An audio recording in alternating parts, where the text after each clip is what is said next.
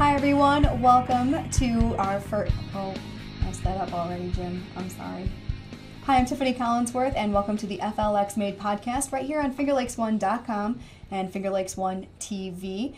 We have our featured products on this show. We have a spotlight on great products right here in the Finger Lakes region of upstate New York, and Victor based Stonehurst Brands is going to be our featured product today that's recently announced their first product, which is 1961 vodka.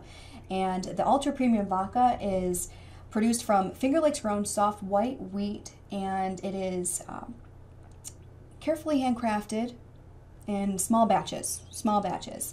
And it's distilled in King Ferry, which is in Cayuga County, five times, and then it's hand, uh, it's hand bottled to ensure a clean, crisp taste and smooth finish.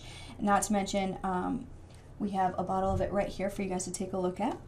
It's absolutely beautiful bottle, beautifully made. And luckily, joining us today, we have Teresa Parsons, who was a resident of Seneca Falls and happens to be one of the founders of the Stonehurst brands. Thank you for joining me today and welcome to our podcast. I really I'm looking forward to trying a little bit of the product that you brought with you. We've got a bunch of it coming in today. Um, now, tell me a little bit about where the 1961 vodka product came from. Tell me a little bit about your story. This has been uh, a, a few year process. Uh, it's four uh, managing partners that all live on the same street. Um, so this has been kind of a crazy idea that started at a neighborhood party.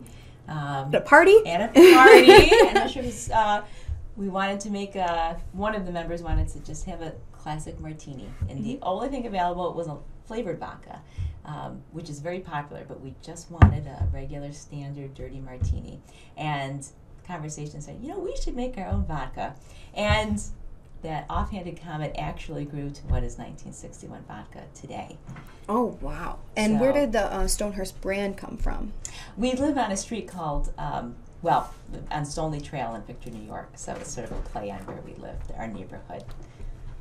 Now, why did you choose King Ferry as the distillery place? You know, we really looked, we really wanted the product to be made in New York State. I mean, when we really started to get serious about this, we said there's really all of the natural resources right here in New York State. Mm-hmm. You know, when you think of your luxury brand vodkas, so many of them that are just a classic vodka are imported. Mm-hmm. And so we've got what it takes right here in New York State to do this. And so we looked at different uh, distillers in the area to partner with. And uh, we decided to use Lake Distilling, which, as you said, is in King Ferry, New York. Mm-hmm. Um, Dave Smith is our head distiller, and he we think he makes a lovely, lovely product. Now, what's the benefit of doing it five times? Now, that we said in the intro that it, you you distill it five times. What is the benefit of doing that? So the whole process starts. I'm going to back up. Starts right in his fields. He grows mm-hmm. his own soft white wheat, and the softer the wheat, it has a lower uh, protein in it, and it yields a smoother flavor. Mm-hmm. So he grows the wheat on premise, he mills it, and then brings it right into the distillery. Um, and after that fermenting process, you go through the distillation process.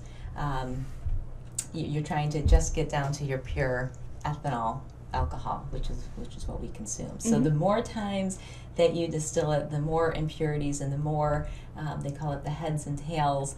Uh, so there's different um, as that heats up right? You're heating this this fermentation up, and what rises out of there is your alcohols. Yeah. But it's not just your ethanol. There's other alcohols that come out. So the more times you distill it, you're getting that out of there and just the more getting powerful down it to becomes. it, more pure, the heart of the product. It's 80 proof, right? Yes, 80 it proof. Is. Ooh, it's strong.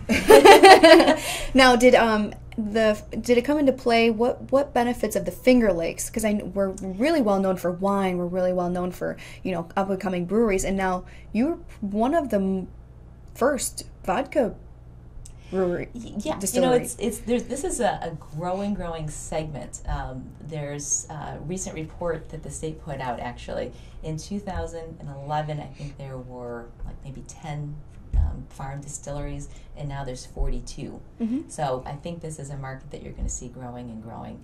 And same thing that you see with uh, wines, right? We've got it's called climate here. So if you think about where wheat is grown for for bread and consumption. You know, the, the bread basket is out in the Midwest, and you've got high, hot summers, and that actually yields a wheat that has a higher protein. Mm-hmm. Okay, so I want for spirits, I want a soft you know, white winter Something- with a low protein in our Mhm. cool climate is is Perfect for that. perfect for that. It's not something that you would be known to to come around here. Grapes, yes, but wheat, it's up and coming. Right. I like the sound of that. Right. Something new, fresh, something different for people to get excited about, and something that will be developing in the area. Now, this is the first product that you guys have released. Yes. Is there future products coming out? or we, we do can be have expecting? future plans, um, but they're really would be you know three to five years out. Oh, okay. So we really would like to grow the market right here in New York State, move into other markets first with the 1961 vodka, and then layer other things in after. This is handcrafted in small batches. Now, how small are we talking? Like, what is the um, what is the release rate for the year? So, you know, and actually, um, uh, Dave's distillery is really kind of mid-sized. He's got quite a bit of capacity that he can do each year, um, but it's still hand bottled. Um, Mm-hmm. We do re- really maybe hundred cases at a time. Oh wow! So as we do this, and, and um, I should kind of qualify. Most cases are twelve bottles. We just have a six bottle case. So And they come- fifty. in the one liter. Just the one liter size. That, that's still plenty. It's plenty.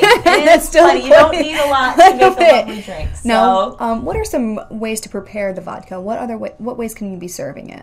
Right, that's a great question. And um, if you go to our website, we actually developed several recipes that we put Yeah, on it. We have some of the that. classics. um, but today I brought um, some samples of two drinks that are very different from each other. So Okay. one is called the Blast Off. And if you can see, we've got this garnished with a jalapeno. So Oh, this is, and it's called the 1961 Blast Off. So back in 1961, it was the first year we put a man in space, Mm-hmm. and so it's kind of a tribute to that. And having just recently celebrated Cinco de Mayo, which is traditionally a Two days tequila Mm-hmm. tequila holiday, this is sort of our, our uh, I don't know. Uh, what I'm trying to say, kind of a nod to, to that day. Mm-hmm. So the recipe here is ginger and jalapeno. So you take two slices of each, Okay. um, and then you do a half an ounce of agave syrup, and then Agave. yes. Okay. Yes, you could substitute a simple syrup, but the agave gives it a, a nice taste Extra as well. yeah. and then it's um, three quarters of an ounce of lime juice, Mhm. and then two ounces of vodka. And so the the results. I, I'm not a hot person at No. all, but I really like. Uh, this is my If favorite. you get nervous, I'm not a hot person either. Yeah, I know. No, no, not it's not- the- it's not- hot. There's no heat like you would think, like you have from a jalapeno pepper in Mexican Okay. food. Um, between the ginger and the jalapeno, it gives us just a nice, a nice warmth here. So I'm try this. Yeah, I get the fancy glass. I don't that's right. Well, let's cheers. Cheers. 1961 vodka. I like it. That's sweeter than I would have anticipated. Yeah, that agave syrup takes the The, the edge off the edge off the of it. Yeah. Um, and then It's beautifully finished. I love that. I'm gonna go for a second I, sip. this is, you know, I was a little nervous to try this when we. I said, "Oh, this is this." Is Why me." is there a jalapeno in there? Right. this is now my go-to. and this is available on the website. Yes, all Ah, of these. Delicious. Yep. And then I also brought um, an old fashioned, which is typically made, you know, with a bourbon, but this is our vodka take on it.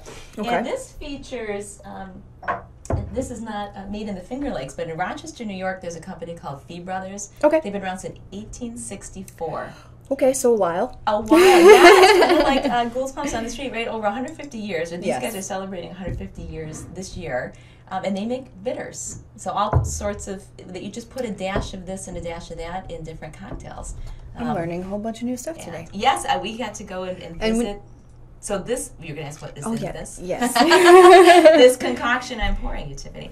This is very simple. This is simple syrup um, with a few dashes of orange bitters hmm and vodka. And then we garnish it with a cherry and a little slice of orange. So unlike the first drink I'd let you try, this is a little bit sweeter, hmm Okay. but still Cheers. refreshing with our citrus. Now, is this something that you do normally? You just you, do you do you smell vodka? It's like a wine. I'm not It really tends to be seasoned a in this. neutral spirit. Mhm. um, ours, a lot of people say they, they taste like a, just if you tried it plain, a little hint of vanilla or citrus. Some people I'm smelling pick vanilla. those notes. I am smelling a little vanilla. Or maybe it's the orange. I have no idea what I'm smelling, but it smells delicious. Now that's even softer than that. That's a smoother finish even than that. It's delicious.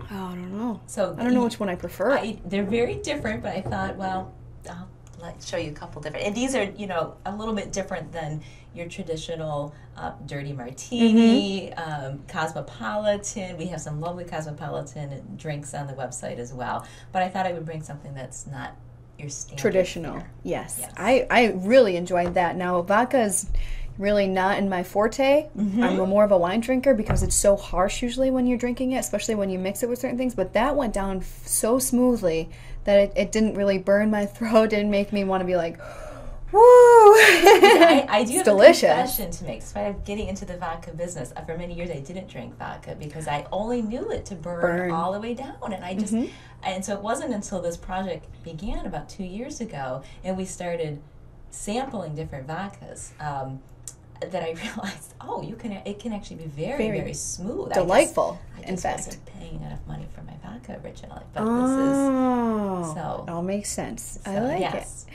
Well, now, where can somebody um, purchase the 1961 vodka? Where do you have it available in the area? You know, we are uh, distributed by Opici Family Distributing, and right now um, it is being sold from Buffalo to Albany.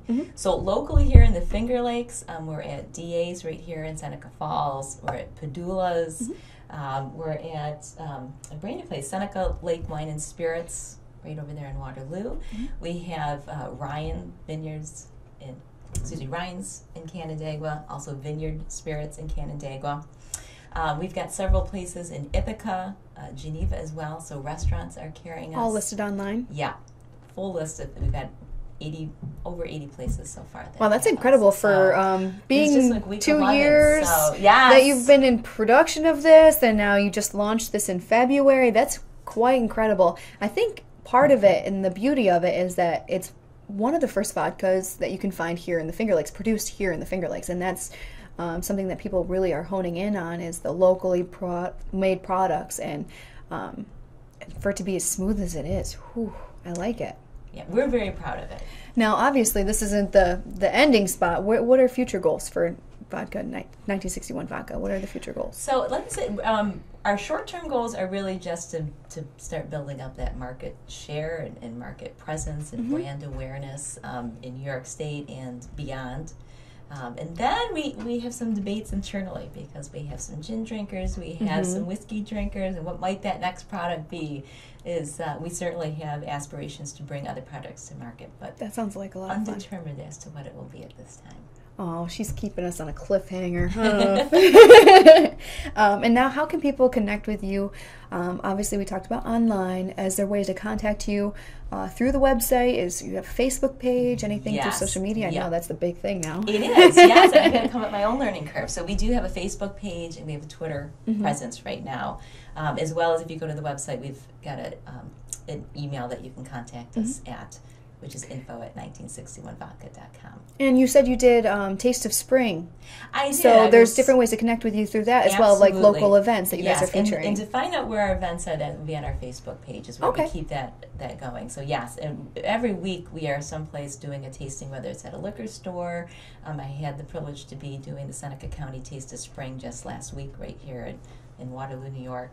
So we are every week trying to get out there and just let people try it. And it's very And see it. interesting because people will sort of, I can tell they're sort of bracing themselves because you don't Vodka. normally taste Vodka. right spirit um, and they're usually very uh, pleasantly surprised at how smooth it is It So is. it's, it's it's very energizing for us to get out there and get that nice feedback as well Yeah, definitely. Does, do people give you the feedback oh that you're looking yes. for? yes Yeah, you encourage them to be honest with the product. yes absolutely Do you have a difference in opinion in terms of um, how it's made, or is it you put it completely in your distiller's hands at King Ferry?